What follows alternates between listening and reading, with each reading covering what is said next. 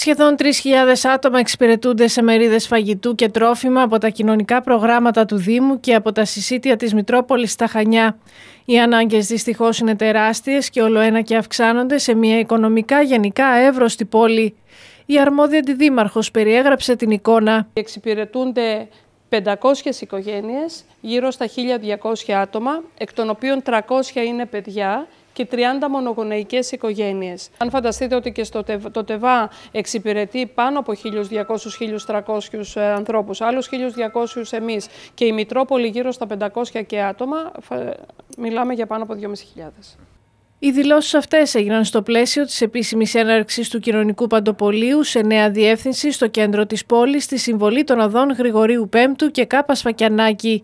Εδώ και πολλούς μήνες η κοινωνική υπηρεσία έψαχνε νέο χώρο μετά από τη μία ανανέωση της σύμβασης ενοικίου στην οδό Περίδου στο ακίνητο της ιεράς Μονής Γουβερνέτου, η οποία θέλει να το χρησιμοποιήσει για δικές της ανάγκες. Περισσότερες από 500 οικογένειες, περισσότεροι από 1.200 ωφελούμενοι με τη συνδρομή τόσο της Ευρωπαϊκής Ένωσης όσο και κυρίως του Δήμου Χανίων έχουν τη δυνατότητα να εξασφαλίζουν τα απαραίτητα ε, προϊόντα για την καθημερινότητά τους. Ε, και όλη αυτή η προσπάθεια για να στεγαστεί σε αυτό το νέο χώρο οφείλεται στην πολύ μεγάλη προσπάθεια, την υπερπροσπάθεια των ε, εργαζομένων της κοινωνικής μας υπηρεσίας που θέλω να τους ευχαριστήσω από καρδιάς καθώς και της τεχνικής υπηρεσίας. Ένα πάρα πολύ μεγάλο ευχαριστώ στην υπηρεσία μου, τους ανθρώπους που εργάστηκαν από το Τμήμα Κοινωνικής Πολιτικής, στην προϊσταμένη μου, την Ελένη την Κτενιαδάκη, στην Ειρήνη την Καντεράκη, που έχουν τρέξει πραγματικά με πολύ μεγάλο ζήλο. Καθώς οι κοινωνικές συνθήκες είναι πολύ δύσκολες, η αρμόδια υπηρεσία θα ανανεώσει τη λίστα των ωφελούμενων και θα καλέσει παλιούς και νέους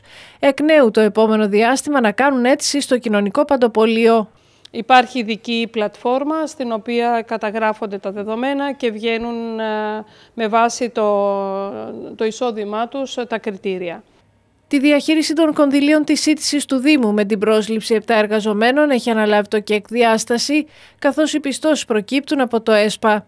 Χωρίς τρόφιμα, βέβαια, δεν υπάρχει παντοπολείο και αυτά προκύπτουν, όπως είπε ο κύριος Κουγεράκης, από χρηματοδότηση του Δήμου, από ιδιώτες χορηγούς, ενώ το συσίτιο παρέχεται από τη Μητρόπολη με υπαλλήλους που πληρώνει το πρόγραμμα. Εδώ έχει επιλεγεί μια άλλη διαδικασία που νομίζω ότι είναι πιο λειτουργική για όλους του εφολούμενους.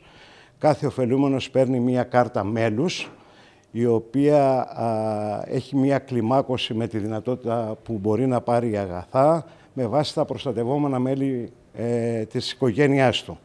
Έτσι, σε μέρες που είναι συμφωνημένες, έρχεται και ελεύθερα επιλέγει τα αγαθά που του, που, που του χρειάζονται. Ο Δήμαρχος Χανίων ευχήθηκε όσο περνά ο καιρός οι ανάγκες για σύντηση αντί να αυξάνονται να λιγοστεύουν.